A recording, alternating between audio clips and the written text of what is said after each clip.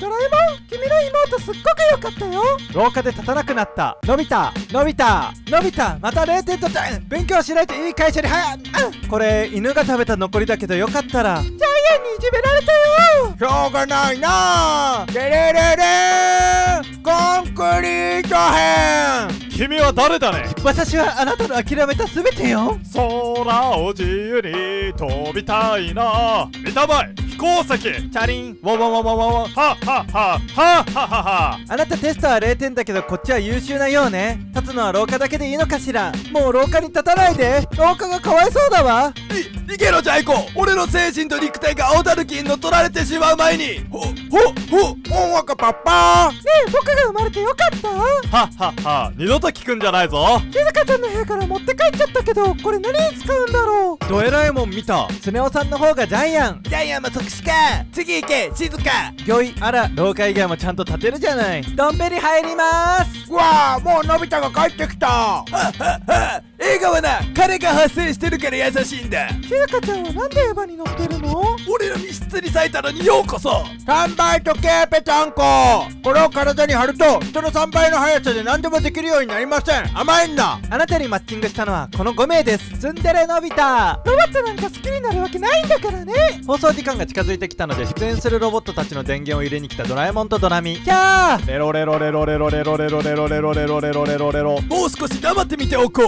のび太くんは活発な子でいつも皆の中心だったのでいじめとかはなかったと思います。えー、いじめはなかったと思います。私も決して廊下に立たせてなどおりません。確か郷田くんは彼をいじめていました。先生も毎日廊下に立たせていましたよ。突然ですが出来すぎくんは隣町の小学校へ転校することになりました。寂しくなりますが温かく見送ってあげましょう。たけしさん。なんだよ。この場にいないから言うけどスネ夫さんって気持ち悪くない？ジャイアンを泣かせるなんて。こんなすごい相手だろ。ジャイアンもいい声で泣いたでしょうね。のび太が風呂に入ってきたので湯船に沈めてたら動かなくなったドラえもん北の豚がうざいよじゃあミサイルでも撃ち込んでやるかもぐもぐぺおいのび太軽犯罪法第26号だぞ違反者には刑事施設への拘留1日以上30日未満罰金1000円以上1万円未満が課せられるぞここんな偉大な人が変なおっさんにメダルかじなんて。裏返して包めば時間を遡るんだ。ちょうど明日は燃えるゴミの日だ。美味しいプリン作ったの。もしよかったらのび太さんも殴っていい？スネ夫さんは呼ばれてもいないのに勝手に来るわね。みんなそう言います。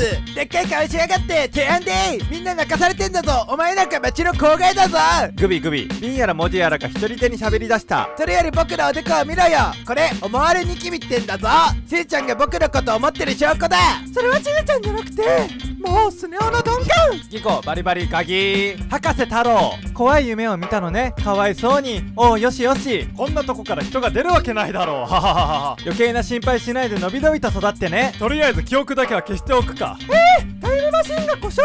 さあそれじゃあつまり要するに。私たち帰れないってわけ？永久に。ミキティ SDGs あああれね。スネ夫ドラえもんジャイアン静かでしょ？して犬かしら。かわいそうに。私に見つかるなんて。悪いのび太この特攻機は二人乗りだ。お前らごめんな。この宇宙船は一人乗りなんだ。と一言残しジャイアンは人類を救う星となった。悪いなのび太。ここでの犠牲は3人までなんだ。